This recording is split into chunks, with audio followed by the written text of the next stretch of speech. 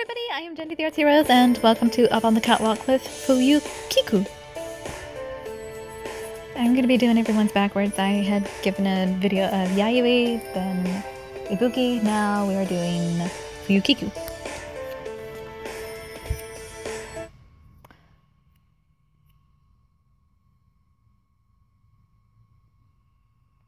Up on the catwalk.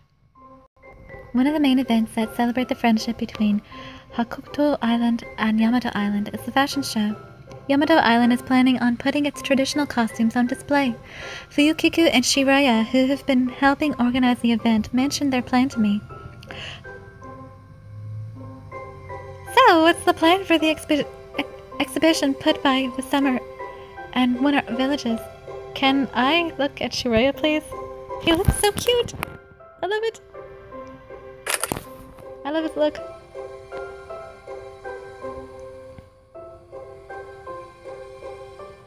Costumes used for the traditional dance at the Summer Village is made by the special method handed down in the Summer Village.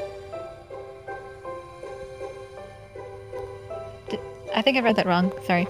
Costumes used for the traditional dance of the Winter Village is made by the special method handed down in the Summer Village.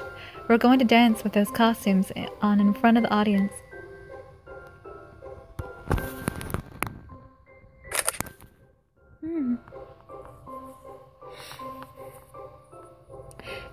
Fuyukiku almost looks a little feminine with his hair long like that. But it's not bad. He looks.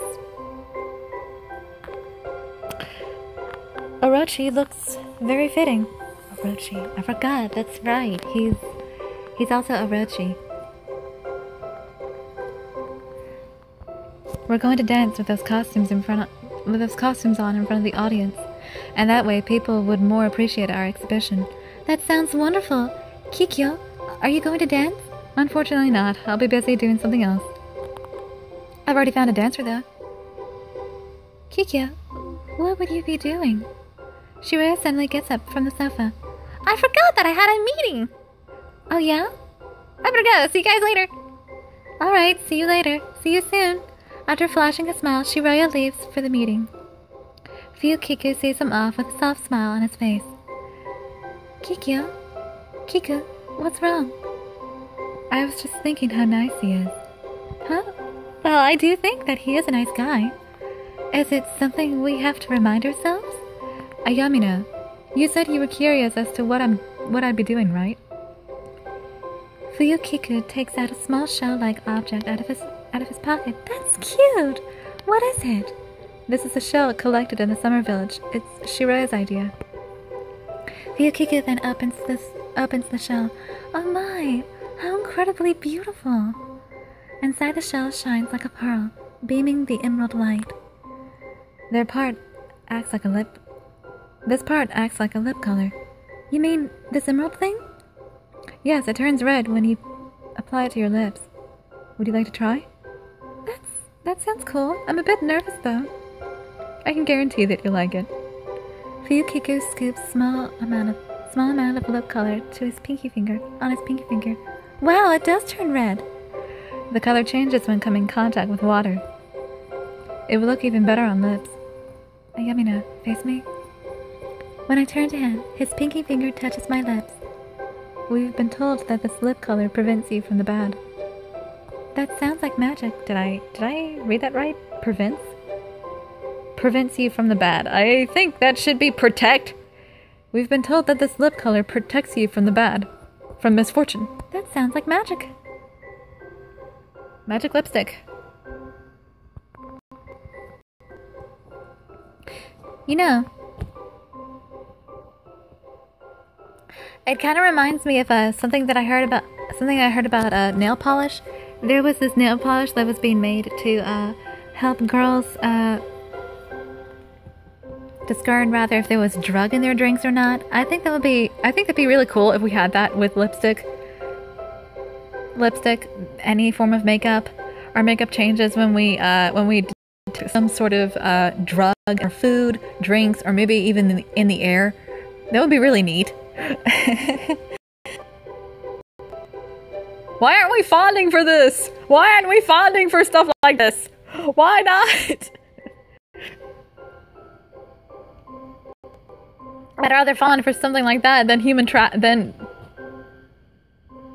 than indirectly have my money be forwarded to human trafficking, if you know what I mean.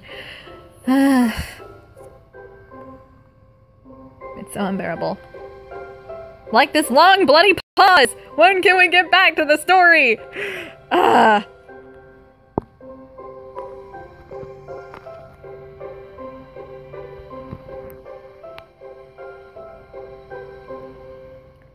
Thank you. That sounds like magic. Fuyukiku's finger leaves my lips once it finishes applying the color. Kiko? What's wrong? I was wondering if the superstition was true. It only makes you more beautiful. Aww. Fuyukiku cups my cheeks. To me, it seems that it would only attract evil spirits. Like what? Bad boys? Mm-hmm. We both break into laughter. After a moment, Fuyukiku puts a serious face and tries to steal and tries to steal my red lips. Kiku? He stops as if he comes to his senses and smiles at me. That's it. He seems to have learned something from my lips. Your lips tempted me with kisses. His index finger, which places over my finger, which places over my lips as he speaks, is tainted in red.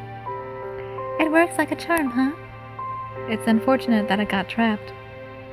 Fuyukiku looks me straight in the eye and continues. What is it? Uh, nothing. I've just realized that I can kiss you anywhere I like. His soft lips touch my cheeks before I can speak. Eyes, nose, cheeks, the sensation that his lips gives takes over me. Takes control over me. I'm sorry about that long pause. I hope I was able to make up for it though. I am Jandi the Artsy Rose, and I shall see you in another video. Goodbye!